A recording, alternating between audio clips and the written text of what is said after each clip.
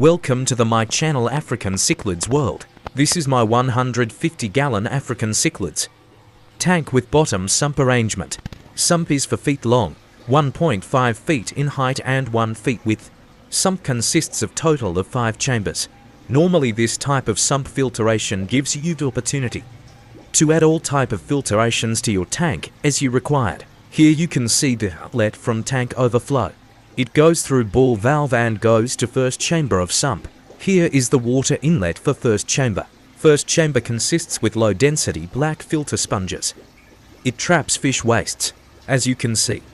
Second chamber consists of high density filter sponges. It traps small particles of fish wastes and creates crystal clear water. Next is K1 chamber. Separate oxygen line is provided to this chamber but it helps to grow bacteria well.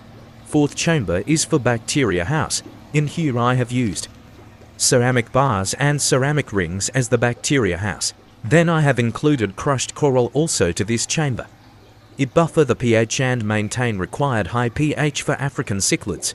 Last chamber is for return pump. It's Sunsun JTP for 1800 Eco pump.